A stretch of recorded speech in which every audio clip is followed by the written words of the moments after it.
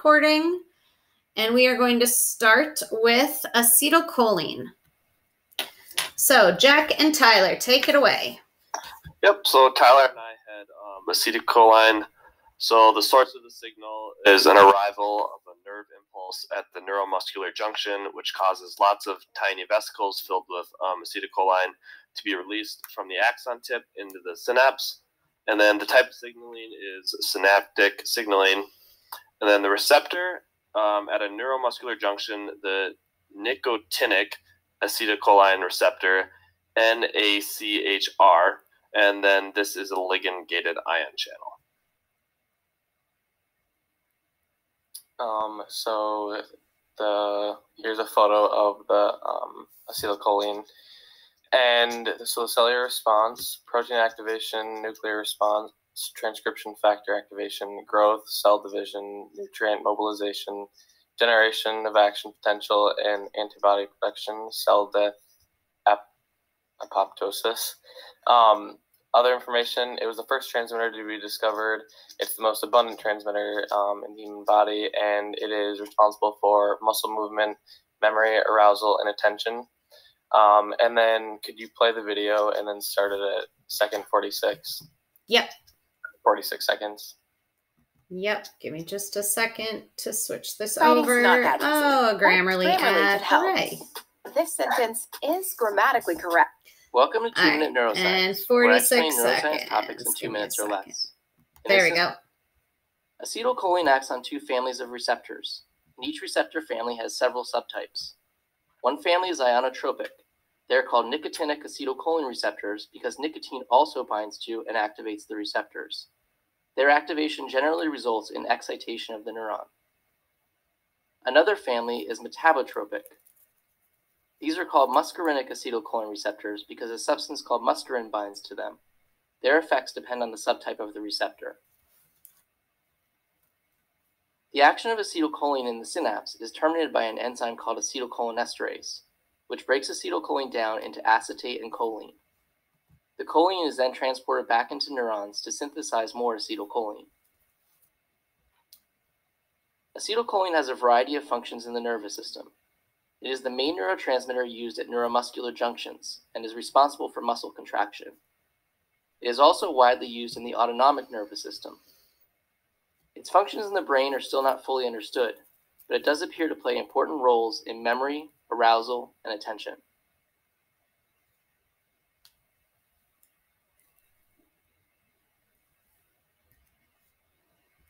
All right. Give me a second. Yep. Give me a second to switch back here. All right. Anything else? Um, no, that'll be all. All right. Dopamine. Is Ashley O here yet? Sounds like maybe not. Ashley C, do you want to do this now or should we come back if she shows up or do it on Monday? Oh, Oh. she just jumped. I just saw that. Ashley, you're right in time. Are you ready to go? Yeah, I'm so sorry. My computer hasn't been working well. I'm so sorry. No worries. You are exactly on time. We just got to your slide. So you guys are up. Go right ahead. Okay. Um, of signal. Um, dopamine is a neurohormone that is released by the hypothalamus, um, specifically in the by the dopamine gener- generic neurons that are in the substantia nigra and the ventral tegmental area in the brain, part of, which is part of the hypothalamus. And then for type of signaling, um, it's actually both paracrine or paracrine and synaptic because um, synaptic signaling is actually just a specific kind. And so basically, just the chemical messengers transfer the signal across the synapse, which you can see in the picture that's in the middle, um, to the D1 and D2 protein receptors. And then the type of receptor that it is with the D1 like receptor signaling, it is G proteins, galphas, and galphalol. And the D2 like receptor signaling eh, are the G proteins, galphi, and galpho. The cellular response is dopamine helps communicate messages across different parts of the brain and between the brain and the rest of the body. It also plays an important role in like executive function, motor control, motivation, arousal, reinforcement, and rewards. And then for other information, I just had that Parkinson's disease is caused by the loss of dopamine, by, by the loss of dopamine secreting neurons that lead to motor impairment. All right. Anything else you have for us, ladies? No, I think that's it. All right. Then our third neurotransmitter here is serotonin. Leah and Brooke. Okay, we had serotonin, and the source of the signal it's um, neurons in the raphe nuclei in the midline of the brainstem and also in the peripheral organs. Um, the type of signaling is uh, uh, paracrine or Yep. uh, messenger utilized by EC cells, which function as sensory transducers. And then the type of receptor is a G protein coupled in uh, its ligand gated ion channel.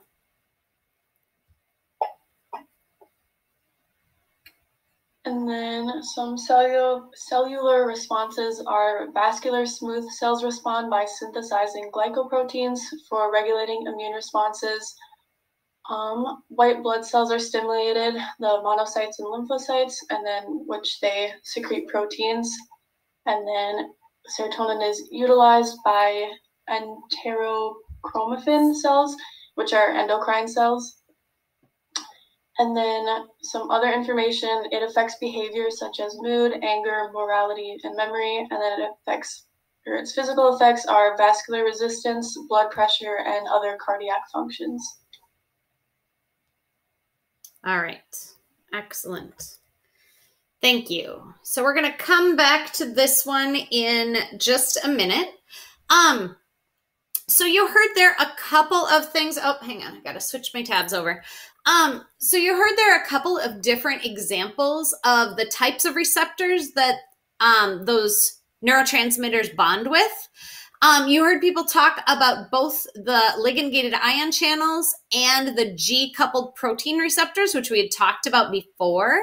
Um, and this is a slide that you have in your packet. You don't need to find it right now. Um, but just so you know, that's there for you. The ion channels open up um, so ions can diffuse in and out, which can lead to that either depolarization or hyperpolarization that can either cause or prevent action potentials. Um, the G coupled protein receptors initiate that signal transduction pathway, like they talked about, and it tends to amplify the signal. So, just one neurotransmitter can end up opening a lot of ion channels. One other thing I want to mention about these, and this will come up again when we talk about the endocrine system, um, but sometimes, depending on exactly where these neurotransmitters act, one neurotransmitter can have different effects in different parts of the body. So, like um, acetylcholine, which is one that they just talked about, when it bonds with skeletal muscles, um, it bonds with a receptor protein that's an ion channel. And when it opens up, it promotes muscle contraction. But in your heart, it bonds with a different type of receptor protein. It's the exact same signaling molecule, but the receptor's different. And so it triggers a different response. So these pathways, another reason for having so many steps in these pathways is that having different receptor proteins and different molecules in the pathway allows different parts of your body to respond differently to the same signal, the same neurotransmitter, or the same hormone. Um, the next type of signaling we're going to talk about is immune system signaling. And we're just going to touch on this one really briefly. There's just one group that's going to present here. Um, but cell signaling is also important to the immune system and kind of how you recognize your body recognize path, recognizes pathogens. So, Luke and Jordan, you are up. Okay, is Jordan here? Yeah, I'm here. Stop, Jordan. Stop. Okay, uh, I'll start then. So we had the antigen and humoral uh, immune response, and so kind of a quick summary right away. Um, so the antigen and the B cell, the B cell, if you can kind of see my grammar there, it's kind of hard to read that, but uh, uh, it, it, the antigen encounters the B cell, and the B cell kind of engulfs it.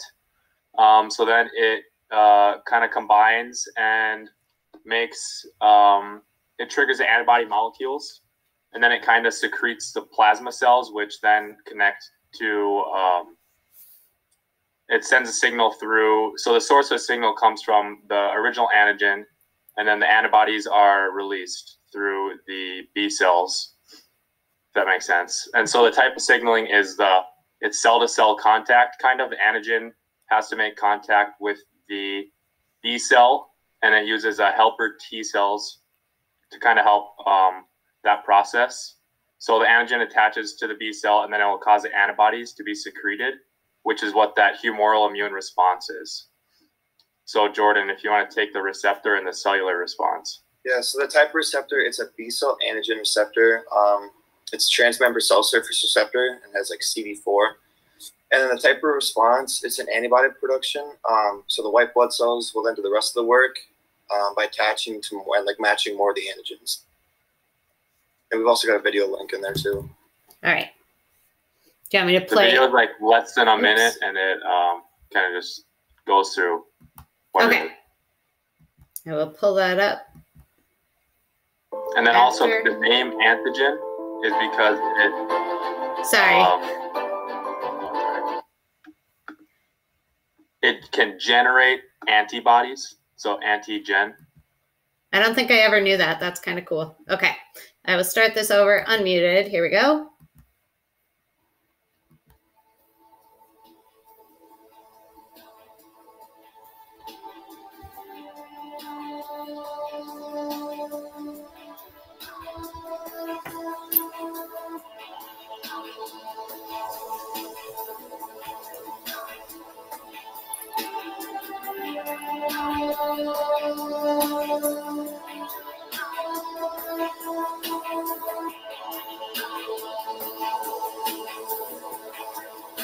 Would be the antigen connecting to the B cell, and that, those are the receptors.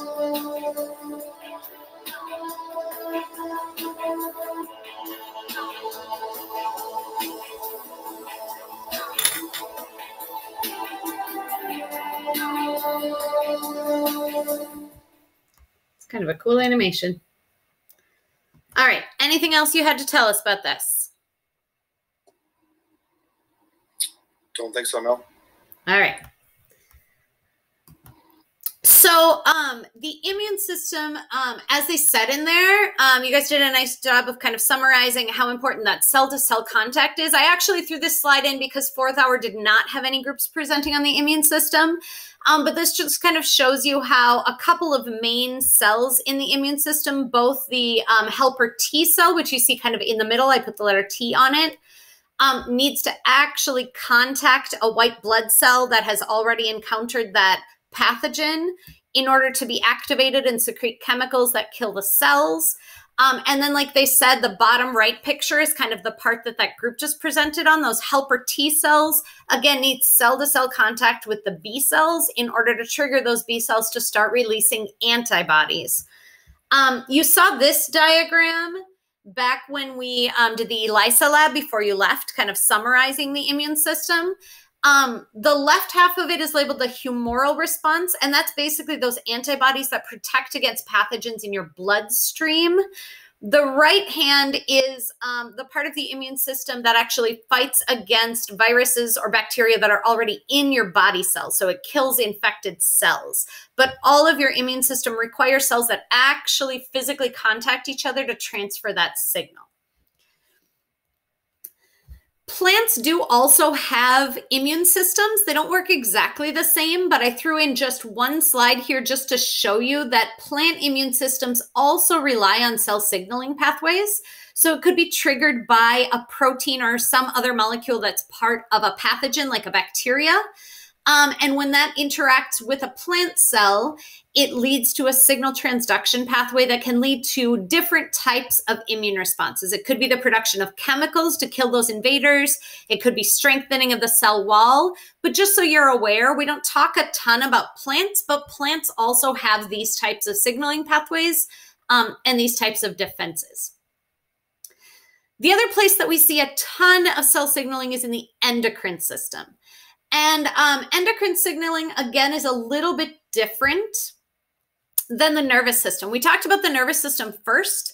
Um, the nervous system sends signals along one specific route between neurons. It's really fast, it's really specific, and the signals are really brief.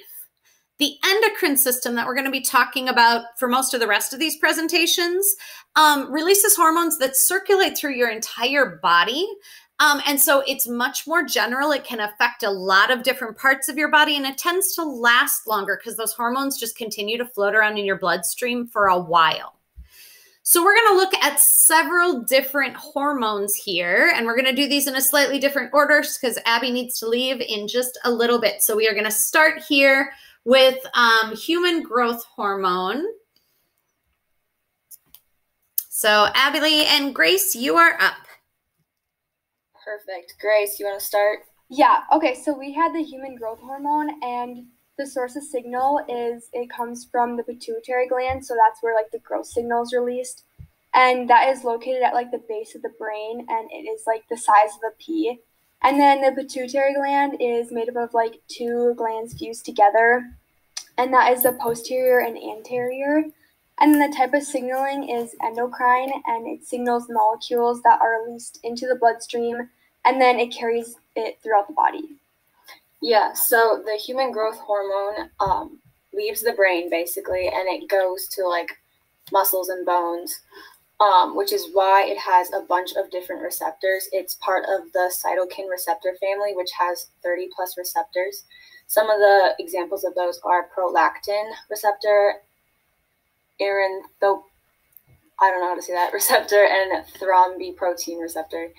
And basically, in this picture, you can see the first picture, which is the top left, the um, receptor is getting ready for the human growth hormone to come. And that's kind of the same as the bottom left picture, uh, part A, and then part B is when the human growth hormone finally like attaches to the receptor, and then it sends out um, a bunch of signals from there. Um, and then the cellular response to that is in response to the human growth hormone cells, it produces a JAK um, enzyme, and the JAK enzyme activates the STAT, which is a signal transducer molecules, and then this produces IGF-1, which is insulin-like growth factor. So basically, in like not fancy terms, the human growth hormone comes into the receptor and it produces the JAK molecule, which activates all these different things, and it produces this IGF-1, which makes things grow. So it makes your muscles grow, it makes your bones grow, and basically that gets distributed all throughout the body um, to signal growth of cells. Yeah, and then some other info. It has like a major role in like growth and growth of like bone and cartilage, and then it also helps with like metabolism development, um, energy, and then it also repairs and maintains tissue, and then it has um, possible development of cancer. And then we also have a video on it. The video is a little long, but it makes a lot of sense. Okay.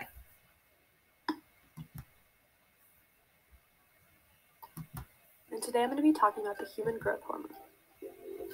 It is important to note that the hormone originates from just under the brain, from the hypothalamus, and then from the anterior pituitary gland. The process begins when the hypothalamus releases growth hormone releasing hormone, which travels to the pituitary and binds to the somatotrope, a type of cell.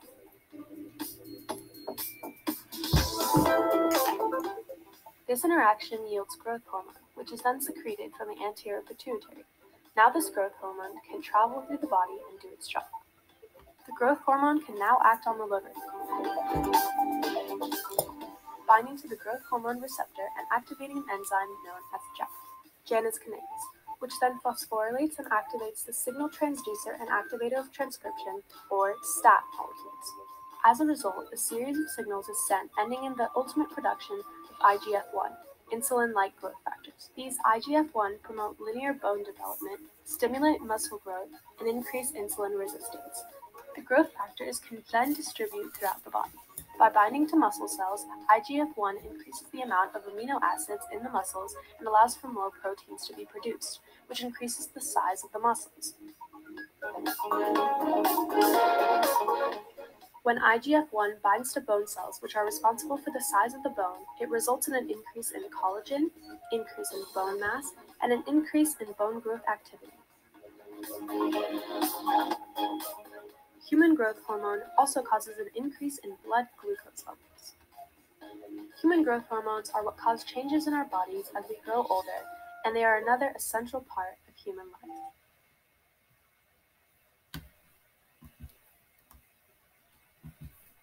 All right. Oh, wrong one. Sorry. This one. Anything else for us, Abilene and Grace? Um, the only other thing that I had is that the human growth hormone is really important and if it gets messed up, it will develop cancer because of all like the different things. And I thought that was really interesting that that's what mainly causes cancer in like little kids. Hmm. Excellent. All right. Thanks. The next one, aldosterone, Austin and Gabby.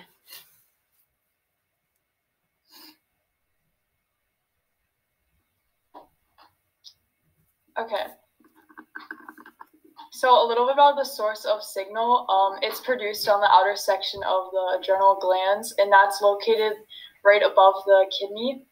And then um, for the type of receptor, um, it has an MR, which is a part of the nuclear receptor family, and it's also ligand dependent.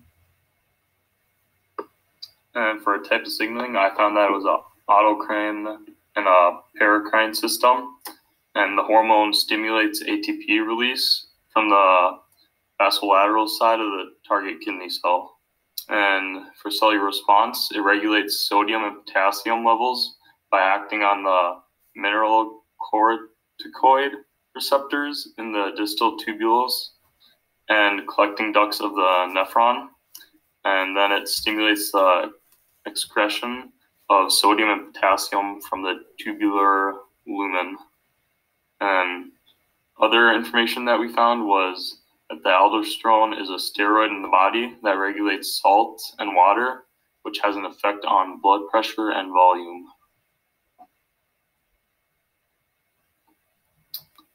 All right. And, uh, that is it. Yeah. That's it? All right. Yep. Our next hormone in here is epinephrine, which is one that you've maybe heard of before. Jade, what do you think? Do you want to talk today or do you want to wait? Um, yeah, I can just do my part and Autumn can do hers when she gets back. Okay, take it away. So, epinephrine is secreted in the adrenal glands located in the kidneys, more specifically the chromo chromaffin cells in the medulla of the adrenal gland produce epinephrine. And then the epinephrine binds to a G protein coupled cell in or on and around muscle cells. And then the video link Autumn added, so I don't know if we want to watch that or not. Okay, let's just check it out real quick, just because epinephrine's a pretty well known one. Let's see what we've got here. Let's see if it'll let me show this whole thing.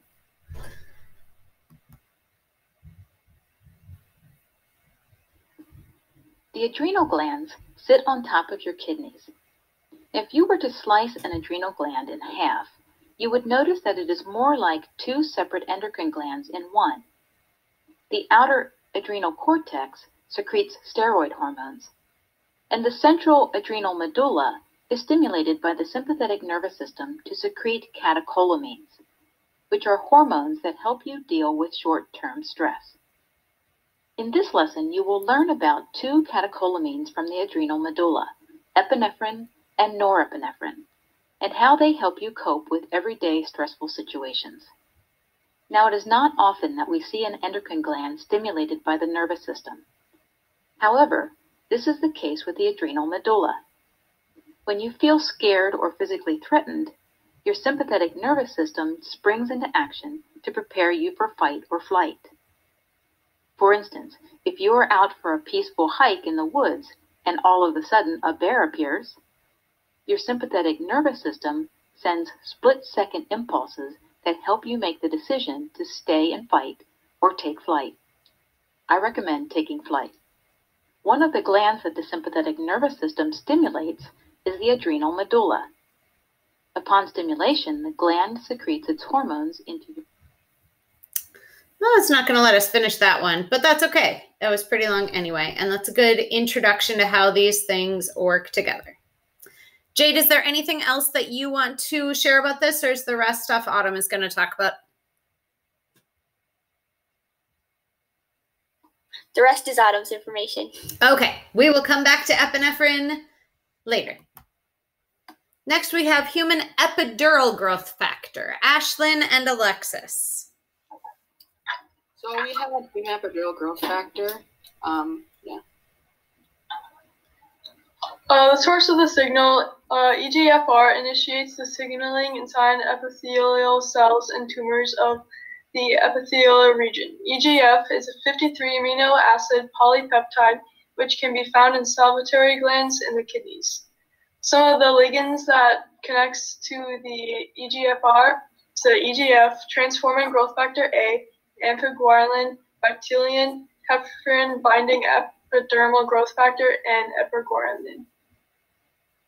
Um, the receptor is, is a protein that's involved in cell signaling pathways and is very important in cell division and help the cell survive.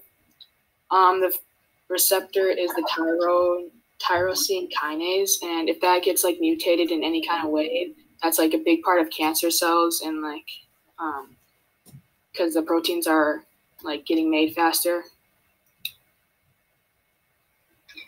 There's a lot of cellular responses. EGF can stimulate the cell growth and differentiation. It stimulates hepatocyte proliferation.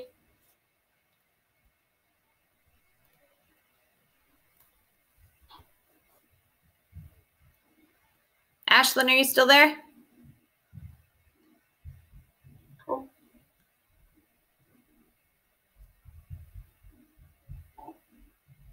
Ashlyn, are you still there? I can't hear you. Yeah, can you hear me? Now I can. Okay, I yeah, my internet's really bad sometimes. Sorry. That's okay. You just cut out in the middle of talking about the responses. Okay. So EGF can stimulate the cell growth and differentiation, stimulates hepatocytal proliferation in culture, induces hepatitic DNA synthesis, and helps with liver regeneration.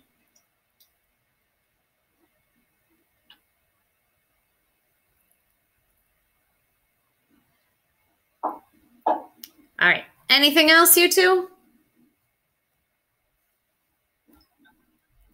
No.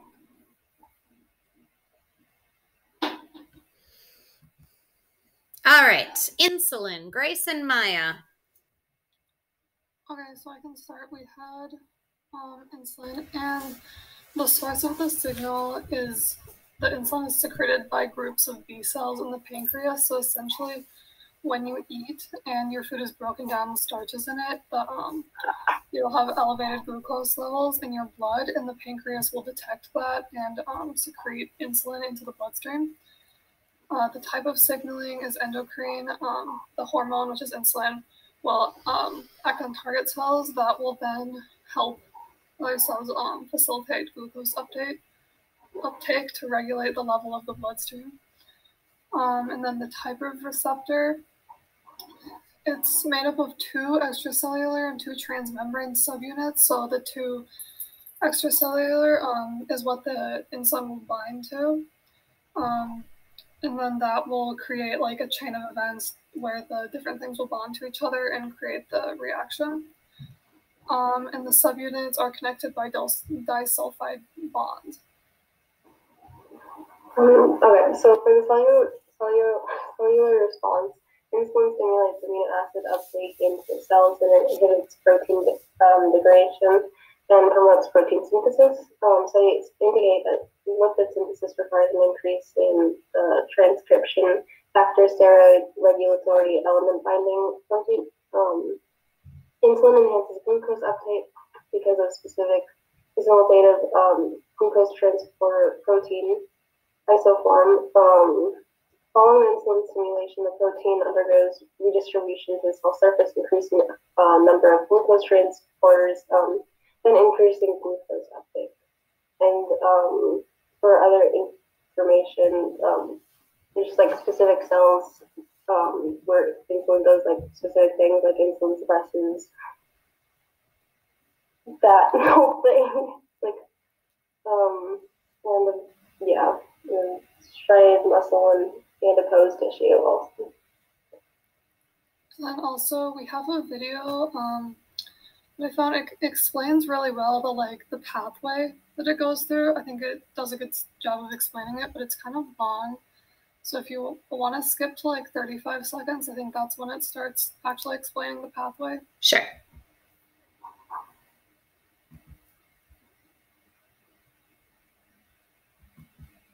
Focusing on skeletal muscle and adipose tissue cells.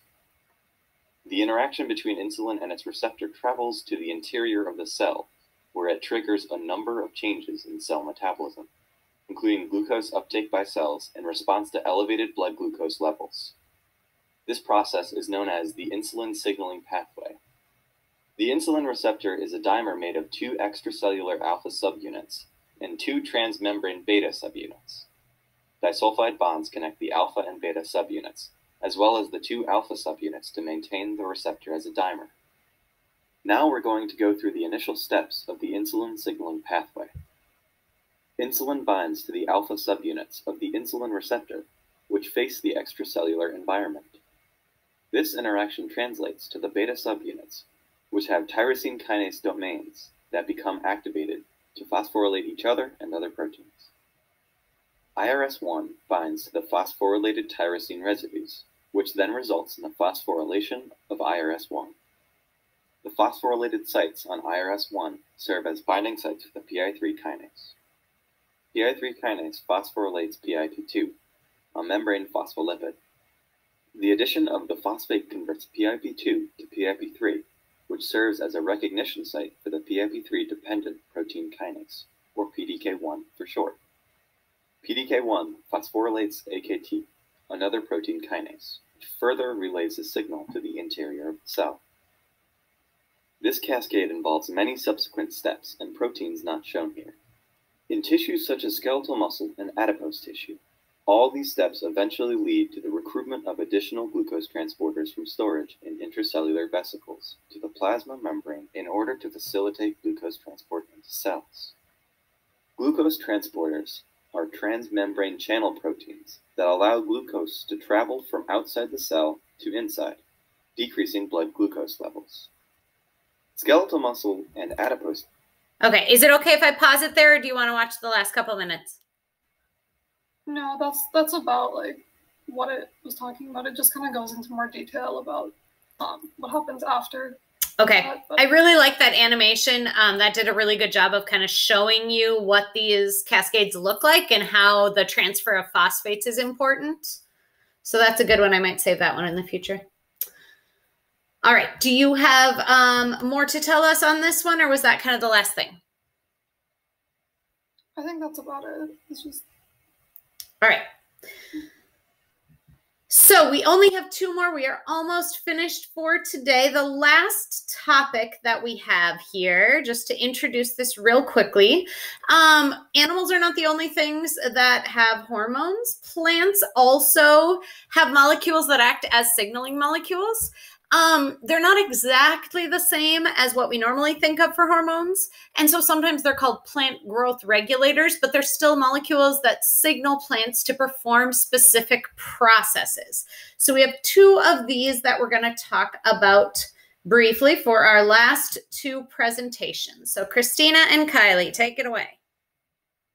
Okay, so we did auxin, and it's a plant cell and it's produced in the stem, buds, and the root tips. It is also in the sap and it moves through the phloem, and it can also pass from cell to cell. The type of signaling is like it's a hormone, so it's produced for the plant to help it grow. Okay, so for the type of the, the receptor, it's called an auxin binding protein. It's the main receptor, and that's the one I could find the most information on. Um, one of the sites said it was plasma membrane associated, and for that reason, I thought it was a transmembrane receptor, seeing as it is associated with the plasma membrane. And then the response, it basically allows the plant to grow by stimulating cell division in the stem. And since the cells are dividing in the stem, it allows the stem to get longer. Um, so that's how it is a growth hormone for the plant.